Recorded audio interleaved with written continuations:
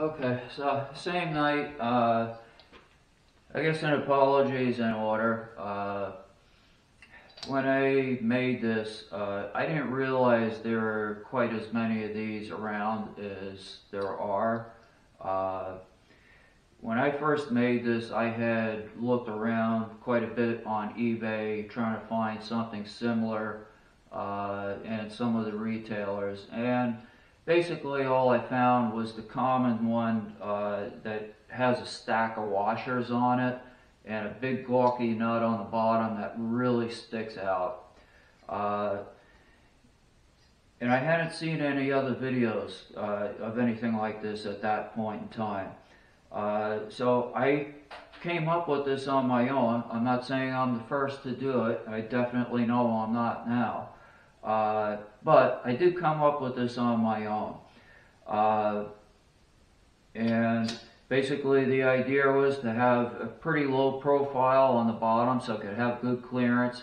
And the other is I wanted adjustability so I could fit a whole range of saws on there. So I did it so it slides in.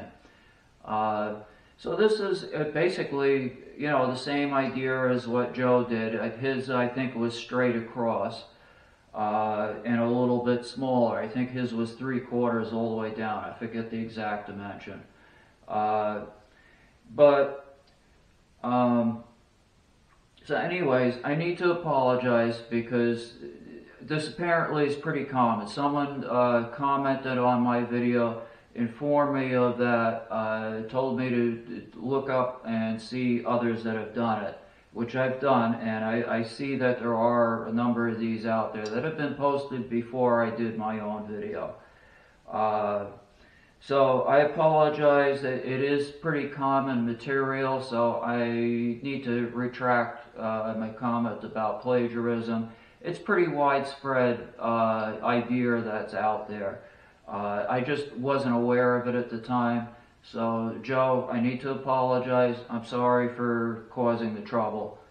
Uh, and I really appreciate the work that you do do.